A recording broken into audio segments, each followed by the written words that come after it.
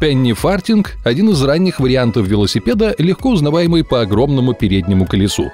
Первые экземпляры стали производить в районе 1870 года, и концепция успешно дожила до наших дней. Устраиваются даже гонки. А умельцы объединяют классическую конструкцию и современные материалы, получая вот такие результаты. Разумеется, нынешнее прочтение классики не обошлось без электропривода, а также карбона, специальной пены, разнообразных пластиков и прочих современных материалов. Аккумулятор засунули в сиденье, оно легко снимается, а для красоты в корпус добавили светодиодов. Прототип, пишут авторы, полностью готов к эксплуатации и является своеобразной данью уважения эпохи энтузиазма в отношении технологий и изобретений.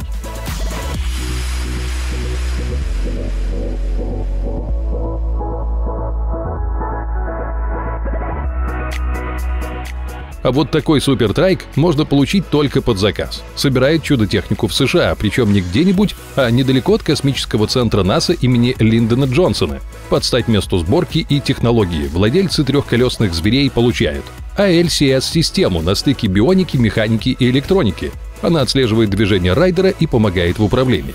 Copilot – так называемую систему второго пилота. Она пригодится для лучших результатов на гоночном треке и контроля в сложных условиях качестве основы для сборок применяет и уже готовые серийные решения, например, двигатели от мотоциклов Yamaha R1 и Honda Goldwing. И это только начало, пишут мастера на своем сайте. Интересно, что же будет дальше?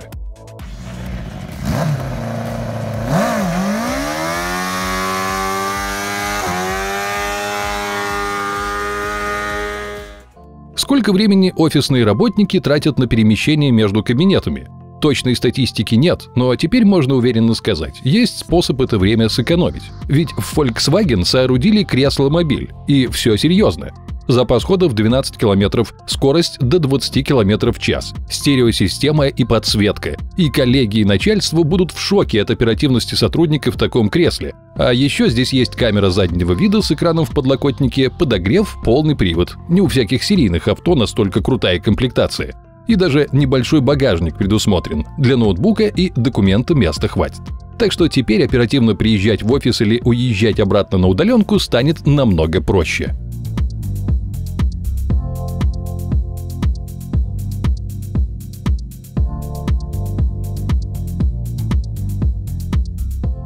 Время насладиться отдыхом на воде. С этим поможет коллектив «Сиду», Дела идут неплохо. Еще в 2016 году доля гидроциклов бренда на мировом рынке составила более 45%. А еще инженеры компании придумали вот такую штуку – доску на подводных крыльях с электроприводом. Новинка будет доступна в 2024 году. О характеристиках пока известно не слишком много. Согласно профильным сайтам, вес доски ожидается в районе 35-40 кг, а максимальная скорость не ниже 40 км в час. Поскольку корпус выглядит достаточно большим, запас хода может превысить 2 часа. А на сайте Сиду упор пока делают на универсальность. Кататься можно и стоя, и лежа, и простоту. Обещают, что справятся даже новички. Почему бы не сделать ролики не просто для развлечений, а для повседневной езды? Наверняка многие по достоинству оценят возможность объехать пробки и не опоздать на работу, да и для курьеров тема интересная. Варианты уже есть. Вот такие ролики предлагают максимальную скорость в 25 км в час. За 757 долларов счастливые покупатели получают пару коньков, пульт управления, сразу два зарядных кабеля и комплект для фиксации обуви с системами UFS и Trinity – Дальность на одной зарядке 15 километров. На пополнение энергии уйдет полчаса, причем аккумулятор снимается. А окончательный дизайн основан не только на видении разработчиков, но и на отзывах профессиональных райдеров.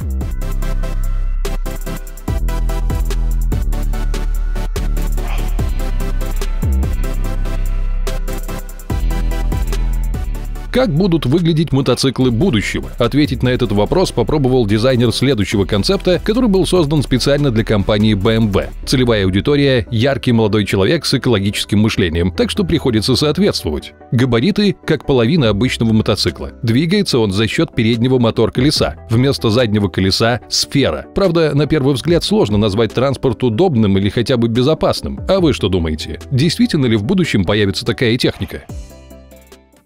Впрочем, многие подобные смелые идеи уже воплощаются в жизнь. Например, вот такой одноколесный электрический мотоцикл с оригинальным способом управления. Работает все за счет датчиков движения. Наклоняетесь вперед, мотоцикл ускоряется. Откидываетесь назад, замедляется. Разогнаться получится до 16 км в час. Грузоподъемность техники 118 кг. Колесо достаточно широкое, что в сочетании с системой балансировки и низким центром тяжести делает новинку интересной и для начинающих райдеров. Дальность хода на одном заряде 24 километра, а примерный ценник – около 6 тысяч долларов.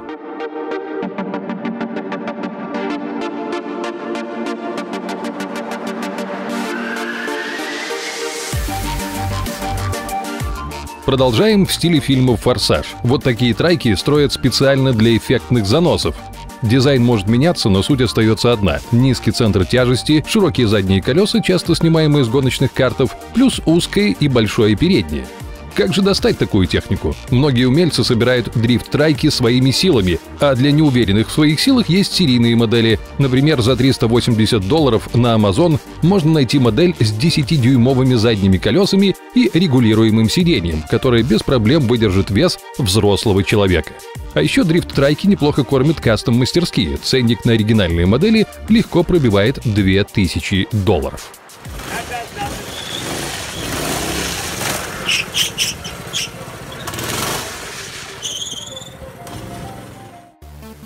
А вот и техника для бездорожья. Она готова возить пассажиров и грузы не только по земле, но и по воде. Это судно на воздушной подушке вмещает до 6 пассажиров и радует грузоподъемностью в 600 килограмм. А еще доступно множество опций, но обо всем по порядку. Скорость судна по грунту 70 км в час, по воде 85 км в час. Расход топлива в крейсерском режиме 25 литров в час. Салон при необходимости трансформируется, доступны даже спальные места. А среди дополнительных опций камера заднего вида, автоматическое открывание дверей, круиз-контроль, световое оборудование и улучшенная шумоизоляция. Цена стартует от 51 тысячи долларов.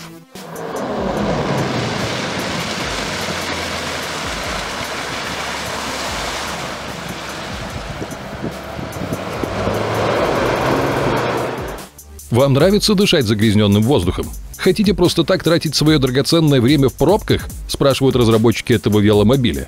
Их можно понять. Например, во Франции летние отпускные пробки растягиваются суммарно на 800 километров.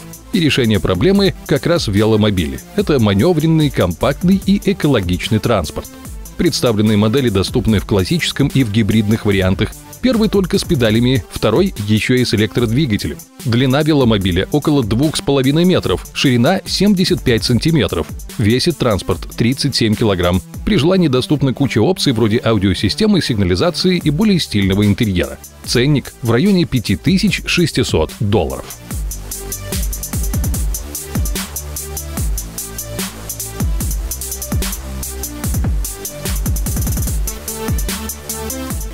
Добыча полезных ископаемых, объезд территорий, доставка грузов, обслуживание удаленной инфраструктуры. Все эти задачи становятся проще, если в наличии вот такой вездеход.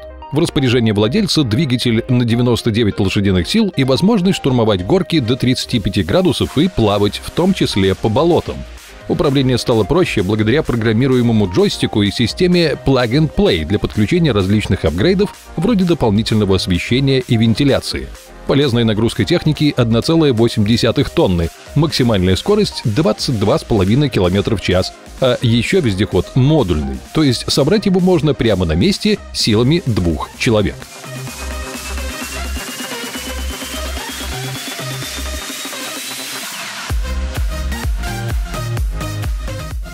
А вот такой скутер удивил гостей парижской выставки «Салон де ля Мота» еще в 2013 году. Это была первая в мире серийная трехколесная модель со складной крышей. А вообще история этой техники началась еще раньше, в 1996 году.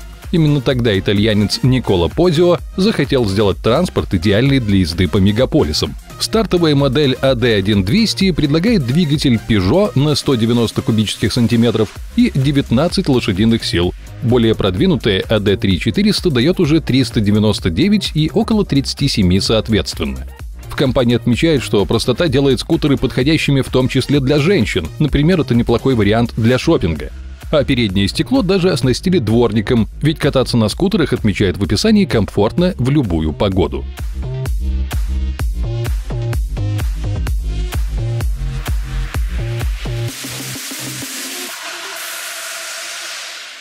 На очереди хендбайк – велосипед, для езды на котором потребуется поработать не ногами, а руками. Эта версия идеальна для прогулок по бездорожью и радует крутым дизайном. Вилка и рама – ручная работа из алюминиевого сплава 7020. Он используется в производстве мотоциклов, на стройках и даже в авиационной индустрии. Приятный бонус – можно выбрать шатун, кассету, цепь, систему переключения передач и прочие компоненты. А для новичков или ценителей особо долгих выездов предусмотрен гибридный вариант с электрическим мотор-колесом. Цена за все это удовольствие стартует примерно от 6500 долларов. В курсе ли создатели, что в некоторых странах за эти деньги можно купить подержанное авто? Как вам вот такой скутер? Причем не от кого-нибудь, а от креативного дизайнера Jaguar Land Rover. Образ навеян разработками компании Steyr Daimler Puch. Она была основана в 1864 году и упразднена в 2001. Велосипеды, мотоциклы, автомобили, самолеты и даже оружие. Чего только в компании не делали, так что простор для вдохновения действительно есть. А следящие за трендами зрители наверняка уже вспомнили Polestar SLR. Вот такой проект в стиле скандинавского минимализма. Концепт скорее развлекательного толка, поэтому автор не указал характеристик. Зато заботливо показал, что в секцию для багажа помещаются не только бумаги и напитки, но и бонсай. Эй, хватит лениться! Пора заряжать мозги! Добро пожаловать на канал Brain Time. Невероятные события прошлого, настоящего и даже будущего. Буйство природы и мира животных. Шокирующие факты и неразгаданные тайны. Все это и многое другое вы найдете здесь. Подписывайтесь, не пожалеете.